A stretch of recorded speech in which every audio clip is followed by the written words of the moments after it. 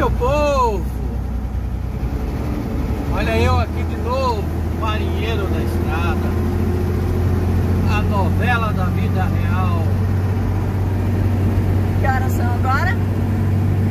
Horário de Brasília, 10 para as 5 da tarde. É, gente, esse horário que nós estamos saindo da primeira entrega, hein? 10 para as 5 da tarde, agora a gente tem 400 quilômetros até a segunda entrega. Chegamos, era o quê? Seis e pouco, e tivemos que esperar até sete para entregar a nota. É, Quando era o quê? Uma hora estava descarregado? Uma hora, da tarde estava descarregado, mas o que demorou foi os comprovantes e o recibo de pagamento. exatamente. Demoraram muito para fazer a conferência da carga, porque tinha dado Divergência na nota. com a nota, né? Então isso demorou muito. Então já deu uma chuva hoje à tarde.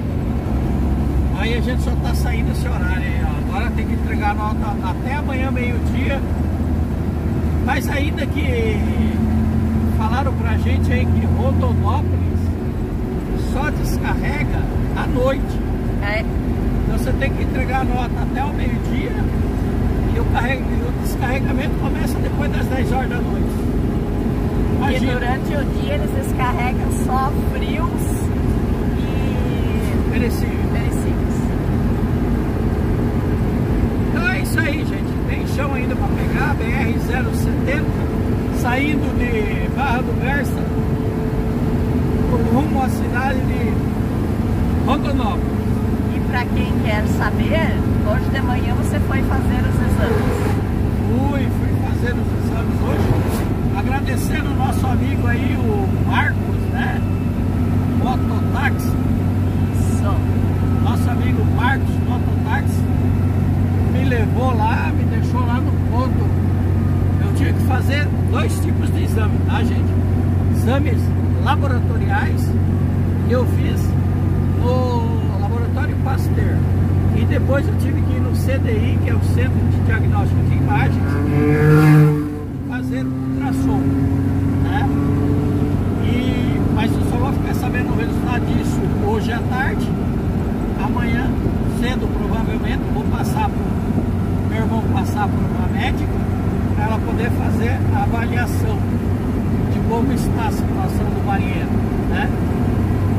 Beleza, gente? Então é isso. É isso. Mas eu melhorando, me sentindo melhor a cada dia, graças a Deus. Mas tem que ver o que foi esse piripaque que aconteceu. Beleza? Vai que não aparece nada nos exames. É, O pessoal pediu a Deus para ter livrado a doença. Quem sabe hoje já não tenha mais. é, uma coisa eu já sei, né? Ah, A médica me disse que eu tenho. Ela pegou e falou assim: Você tem gordura no, no fígado?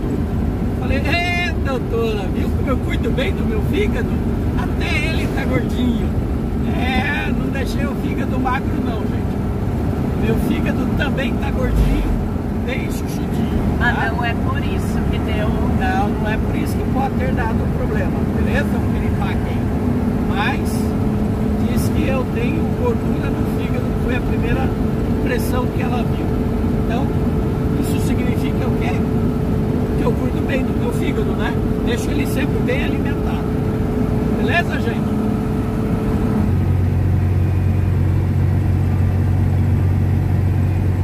É, já raiou o dia. BR-070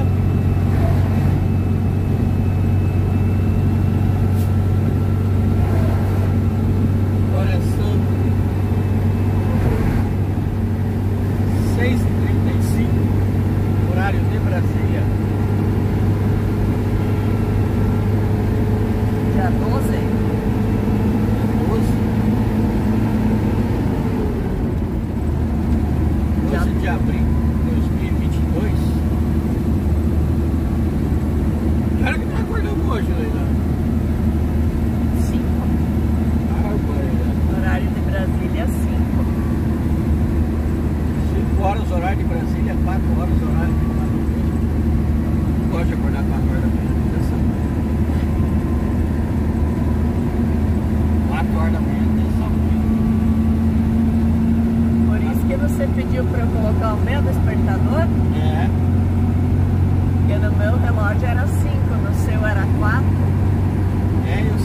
sempre gosto porque o meu, meu relógio, meu despertador, meu relógio de telefone, ele já estava com horário Mato Grosso desde ontem.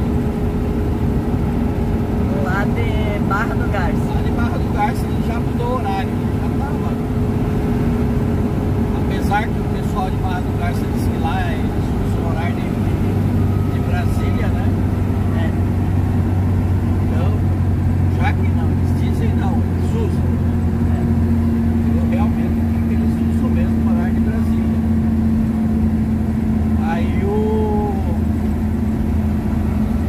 Aí quando nós fomos dormir ontem, aí perguntamos que horas que nós vamos sair? Que hora que nós vamos acordar? Às 5 horas da manhã. Ah, então coloca no teu despertador, porque eu não quero acordar às 4. Eu tenho que botar às 4 da manhã e eu não quero acordar às 4 não. Põe no seu despertador que nem é 5, o meu é 4 da manhã.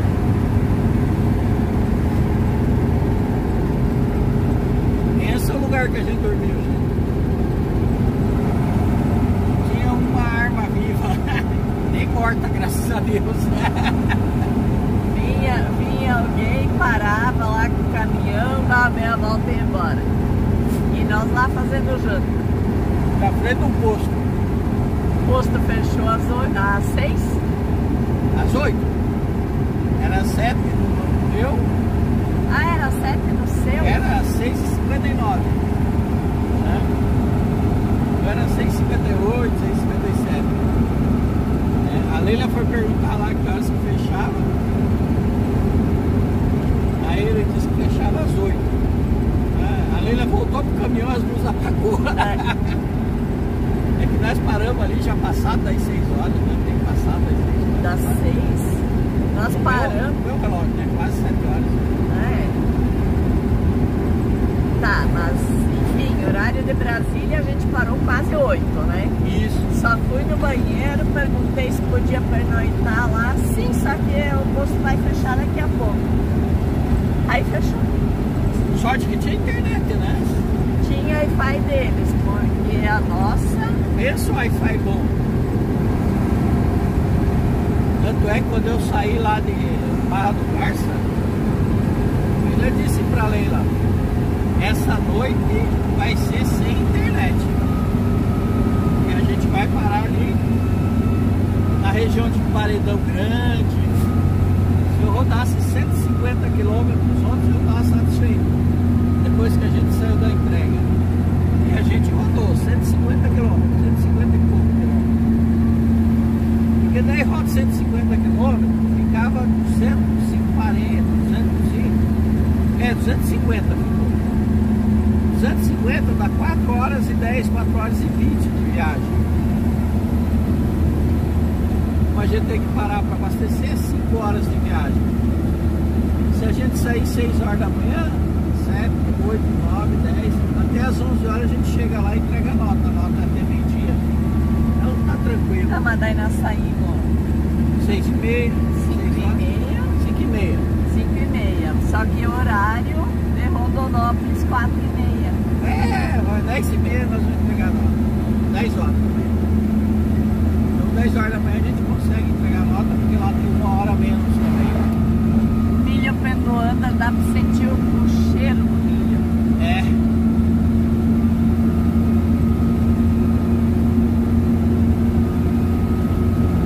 Pior que dá mesmo. Dá sim.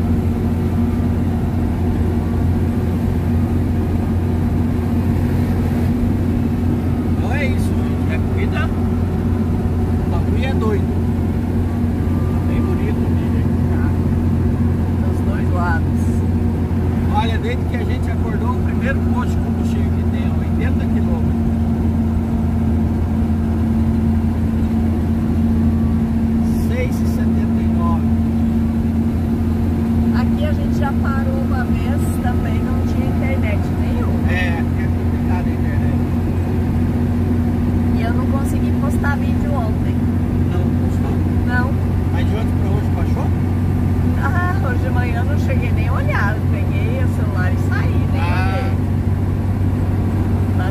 consegui postar vídeo ontem porque lá em Barra do Garça, no Atacadão, eu não tinha sinal.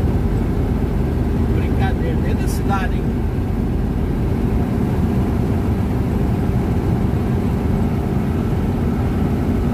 Em Aragarça também o sinal não tava aquelas coisas, né? É.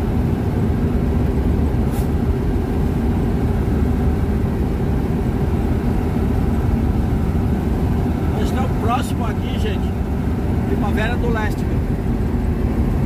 40 e 40 quilômetros de Primavera do Leste. Por isso que tem essa, essas monte, monte de plantação já aí, ó.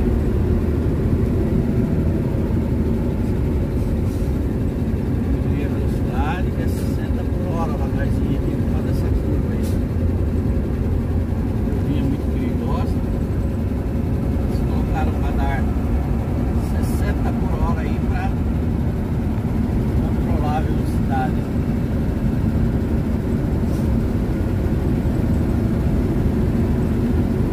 Curva e depois ponte.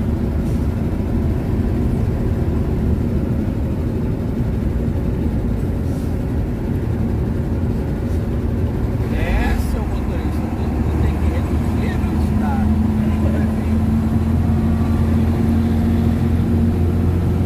Mas é muita curvinha nessa rodovia. Bastante.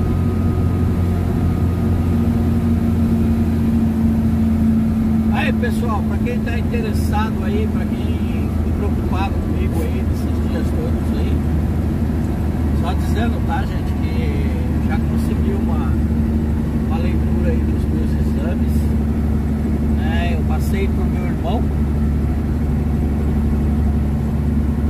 Passei pro meu irmão aí, ó. Meu irmão tem um neto, está fazendo medicina, dois sobrinhos também que são médicos, aí, cardiologistas, né? Então daí eu passei os resultados pro meu irmão e ele encaminhou pro neto dele, que está praticamente terminando aí a, a faculdade de medicina, então tem E já está trabalhando no hospital junto com os, os professores que são médicos. É, né? já está fazendo, já estagiando, né? Estará fazendo residência. Um lado agradecer aí o Jorge. Jorge, muito obrigado aí, né? Pela atenção, obrigado pelo carinho aí. Agradecer também o Sérgio e a Tere aí. Que por- rápido que veio a resposta. Pois é, ele falou, passamos para ele ontem à noite e ele disse que ia passar a noite pro Jorge, pro Jorge já de manhã ir lá no hospital com os professores e ler o resultado. Mas como ele já está bem bem experiente, né? Bem como eu vou dizer, conhecimento já Siriema. avançado, Siriema. Aí ele já pôde ler o resultado. É, e a única coisa que ele encontrou mesmo foi aquilo que a médica já tinha me antecipado, né? Que eu trato bem do meu fígado, por isso o fígado tá gordinho. Né? O restante, gente, tá tudo normal, meus saúde, graças a Deus. Né? Dizem que eu posso ter apanhado, que eu posso ter pego, é uma virose, né? E ainda não está descartado a dengue, porque eu achava que no meio daqueles exames todos ia ter algum exame que dizia de dengue, mas não tinha não. É, o médico mesmo falou que pode, Pode ser ser. dengue, pode ter sido uma virose, mas como os, os exames não foram pedidos específicos para isso, né? Tá, gente? Então aquele chilique que eu tive lá foi coisa muito grave, não, graças a Deus. Ah, e não diz que não tem a ver com o fígado gordo. Não, não tem a ver com o fígado gordo. Agora o restante, gente, diabetes, essas coisas, tá tudo normal. A glicemia, tudo normal. Né? Então o restante, graças a Deus, tá tudo dentro dos conformes. Porque afinal das contas, né? Eu cuido desse corpite, né? É, eu cuido desse corpite aqui. E falando com outras pessoas, me disseram que. Olha que bonito final. Aham. Milho privado, só te interrompendo um pouco. me disseram que fizeram também ultrassom, também apareceu problema, fígado gordo. Aí o médico disse que muitos brasileiros têm e não sabem. Sim. E não é. Aí o pessoal vai dizer, ah, mas o marinheiro come muita gordura. Gente, quando a gente faz as lives, às vezes a gente faz alguma coisa com gordura, mas não é o nosso dia a dia. É, gente. Nosso dia a dia não é toda hora comendo comida gorda, não. Eu, particularmente, gosto de uma comida mais gordurosa, mais temperada, forte de tempero. Mas isso não é o nosso dia a dia, não, né? Nosso dia a dia é um pouco arroz e ovo. Comida russa, ovo. Não, e ontem eu fiz era uma, uma carne cortada em tirinhas, acebolada, arroz e um purê de batatinha. Aí, ó, tá vendo? A nossa comida é sempre Então, é assim todo é dia. saudável. Todo mundo acha que a nossa comida não é saudável. É saudável sim, só que às vezes a gente extrapola quando umas coisinhas mais gostosas. E a gente, a gente faz muito refogado também, então a gente come legumes. Aí às vezes a gente para e compra uma comida mais gostosa. Não pode comida saudável que fosse gostosa. Pegou pesado, como se minha comida não fosse gostosa. Ai, ai. Não, diga assim uma comida assim com mais substância. É, agora eu falei que comida saudável não é gostosa.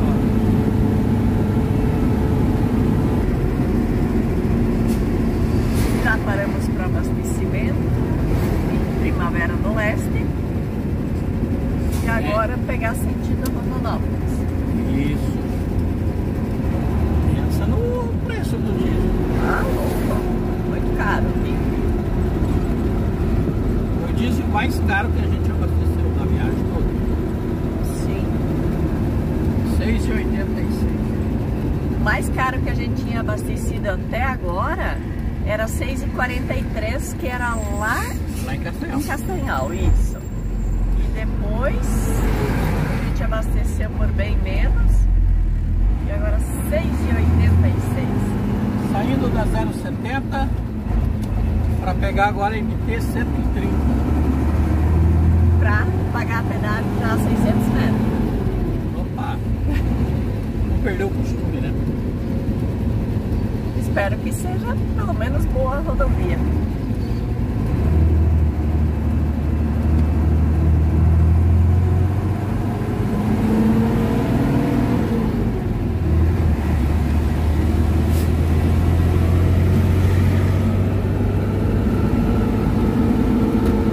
Nove. Por eixo. Oi? Nove por eixo. Nove reais. Acertado. 27 reais. E vai ter outro ainda, né? Antes de chegar em Rondonópolis. Ai.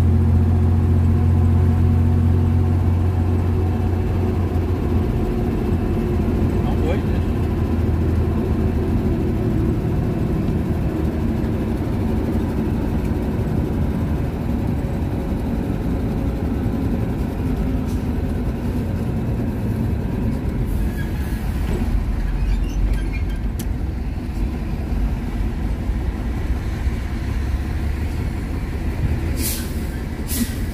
Bom dia, tudo bem?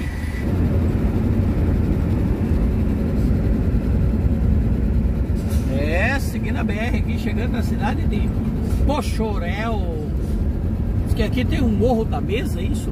É, eu vi antes, Morro da Mesa, mas não sei qual que é. Será que é aquele, aquele morro lá? Será que é aquele lá?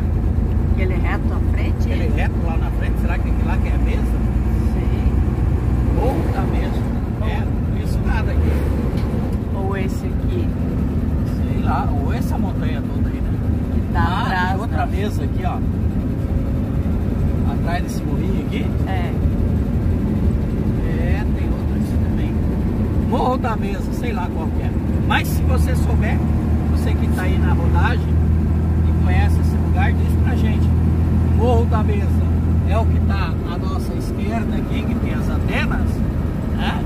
Ou é o morro que está bem quase à nossa frente, lá longe, mais à direita.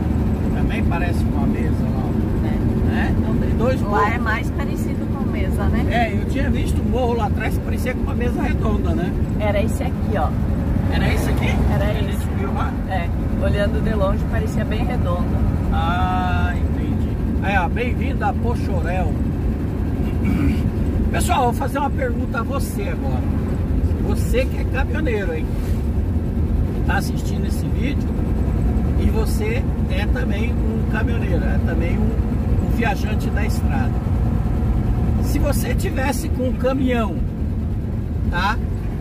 Com menos de 400 quilos dentro do seu caminhão, mas você está carregado, né?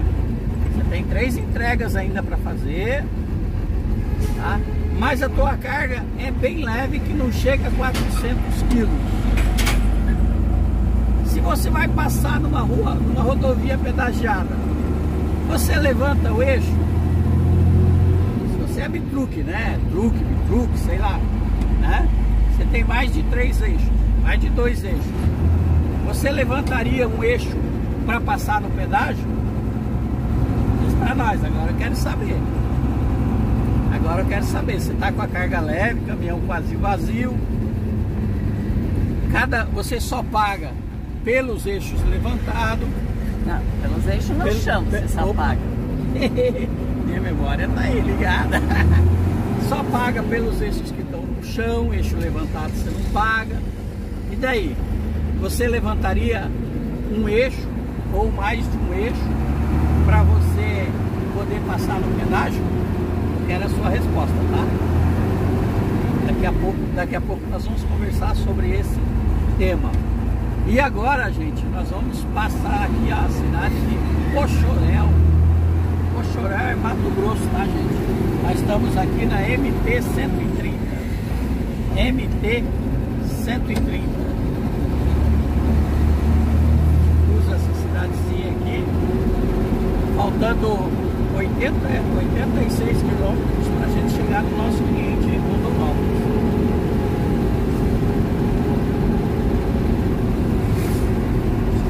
A cidade de Rondonópolis, né? 80 clientes, 80 km.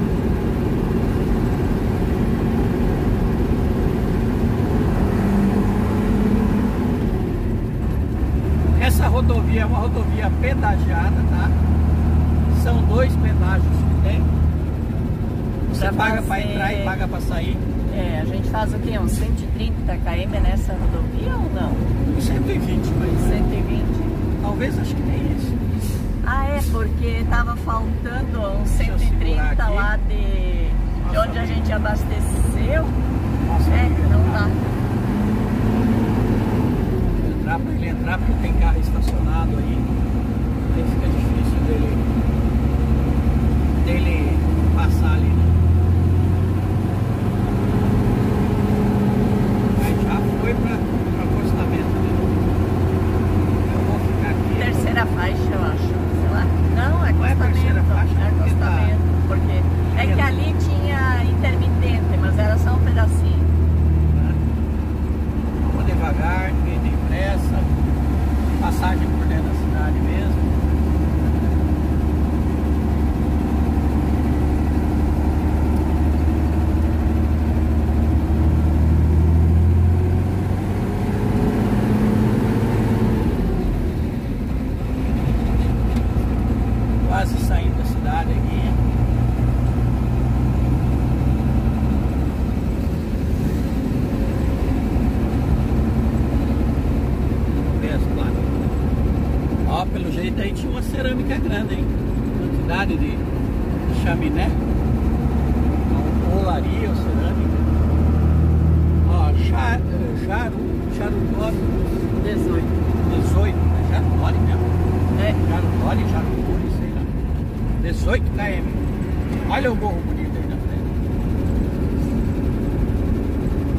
Imagens bonitas aí do Mato Grosso pra você.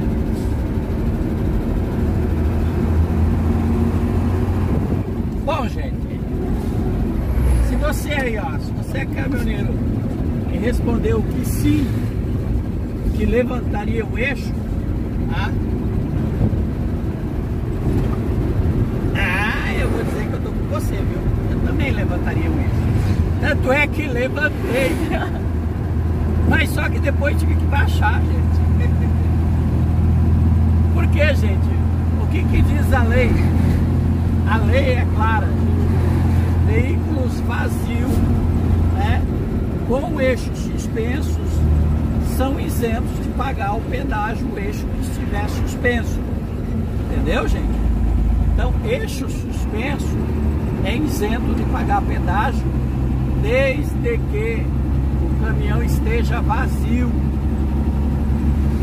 E dessa vez eu passei aqui nesse pedágio, a primeira vez que isso aconteceu com a gente, né? Sim. A, a moça do pedágio viu que tinha um eixo levantado e perguntou: Você tem alguma nota? Eu falei: Só nota fiscal.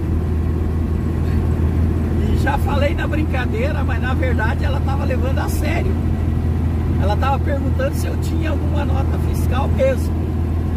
né? Como eu tinha dado uma nota de 100 reais para ela descontar o pedágio, eu pensei que ela ia perguntar se eu tinha alguma nota de 10 ou de Uma 20, nota menor, né? uma nota menor, né? E quando ela perguntou, você tem alguma nota? Eu falei só de pedágio, Não. Só de só nota fiscal, eu falei. Aí ela, pois é. Pois nós vamos ter que abrir o seu baú. Falei, mas abrir por quê? Ah, para saber se o seu caminhão tá vazio. Eu falei, não, então não precisa abrir não. Eu- se o problema é esse, eu baixo o eixo. Porque eu, Eu tô tô- com carga, É. mas eu tô com 400 quilos só. Nem. Eu tô com menos de 400 quilos ainda, disse pra ela. Né? Aí ela pegou e falou assim, é, mas o caminhão tem que estar vazio. Bem, então baixei o eixo. Só que o seguinte, né, gente? Eu já tinha passado ali, eles dizem que tem dois sensores, um antes e um depois do pedágio. E o antes do pedágio já tinha detectado que eu estava com o eixo levantado. Aí aquela enrolação, né? Daí eu tive que baixar um eixo, a moça teve que anotar que eu baixei o eixo, aí teve que vir outra para liberar minha passagem. Tudo isso porque eu estava com o eixo levantado, mas eu tinha carga dentro do caminhão. Tá? Eles estão errados? Não, não não, gente. Quem estava errado era eu, tá? Eu tenho que admitir minha culpa, porque a gente sempre tenta dar uma despertinho, né? Então essa vez eu tentei dar uma despertinho e me ferrei. Então foi isso que aconteceu. Eu tentei dar uma despertinho e me ferrei. Mas na verdade, uma despertinho, a maioria das pessoas não sabe que na lei está que o caminhão tem que estar vazio. Então é bom esse vídeo. Eu você- não sabia, porque desde que foi conseguido isenção do eixo levantado, eixo suspenso, eu só ouvia falar, se você estiver com o eixo suspenso mas eu não sabia que tinha que estar caminhão vazio. Sim. Então é uma regra, é uma lei.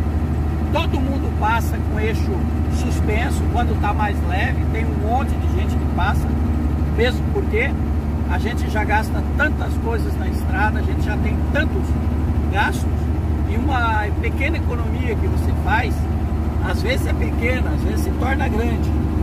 É de muito bom grado, né? Por exemplo, agora a gente ia economizar nove reais.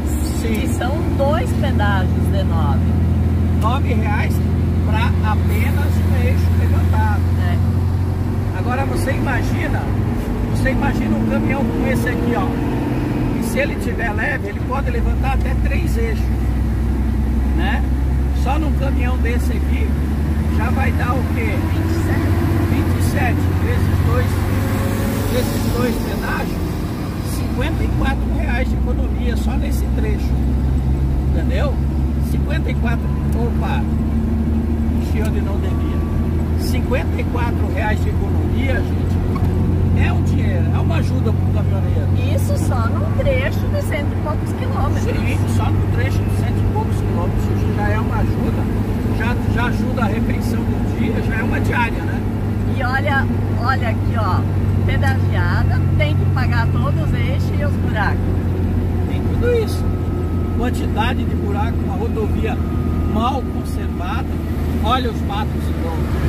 Né? Buraco, mato.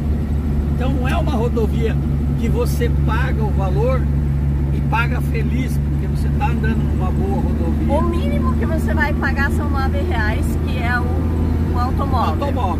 São duas vezes de nove reais, já dá 18 nesse trajeto. E caminhão, Olha ali, então, cara. Fechou o eixo ali, ó. tá aí o- as rodas dele. Eixo não, as rodas. olha os buracos. Aqui, ó. Olha as buraqueiras aí. Ó. Entendeu? E para trafegar numa rodovia dessa, eles exigem ainda que para levantar o eixo o caminhão tem que estar vazio. tá? Então é isso aí que eu digo, gente. É, é complicado. Mas eles têm a razão e não dá para discutir porque eles estão certos. Se você for parar para analisar, tem uma placa, tem uma placa bem no começo, um pouquinho antes do pedágio, tá? Tem uma placa dizendo. Eu quando eu passei eu não consegui ler a placa toda, mas tem uma placa informando que você andar com eixo suspenso irregularmente é infração, é infração, não sei que infração que é, média, baixa, Sujeito a multa. é sujeito a multa, né? Então, quer dizer, não quer dizer que eu não possa andar com o eixo levantado. Se eu quiser levantar o eixo aqui, eu posso levantar meu eixo. O que eu não posso, pelo que está dizendo aquela placa ali, é eu querer ter vantagens com o eixo levantado, sem irregularmente, entendeu? Tipo, aí eu ia ter uma vantagem, eu ia pagar nove reais a menos, mesmo estando irregular. Entendeu, gente? Então é isso. Mas nada impede. O policial não vai me multar se eu tiver com eixo levantado, estiver com pouco peso no caminhão, isso não é passivo de multa. Passivo de multa sim. Se eles comprovassem que eu tivesse passado no pedágio, pago o pedágio a menos e estivesse carregado. Né? Era uma deles fazerem o seguinte, eles ter deixado eu passar no pedágio, pago só dois eixos e ter ligado para a polícia militar que tinha aqui na frente. É. Aí eles ligavam para a polícia militar e mandavam a polícia militar ir verificar que esse meu caminhão tá vazio? Aí que o meu caminhão tivesse cheio, a polícia poderia me aplicar uma multa, porque eu paguei, no, eu passei no pedágio com o eixo levantado e eu não deveria ter feito. Beleza, gente? Então fica o alerta para vocês aí, para muitos caminhoneiros que às vezes não sabem da lei direito, né? E acha que como todo mundo acha, como muitas pessoas acham, ah, eu tô com o caminhão leve, eu posso levantar o eixo no pedágio e, e pagar menos pedágio, tá? Então fica aí a dica. Então vamos ver, olha aí que estrada bonita, né? Estrada bonita? Sim, a, a estrada não, Ah, a, a paisagem, né? certo. Paisagem bonita desses morros aí. E por aí. Gente, era isso aí que a gente queria falar. Mais um.